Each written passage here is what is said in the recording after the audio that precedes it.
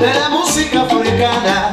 Suena el tambor y semilla de la música africana. El ritmo de la banda se pone al instante un pie y cuando entra en la Morúa el público se emociona porque el ritmo se entona al compás de la vacua.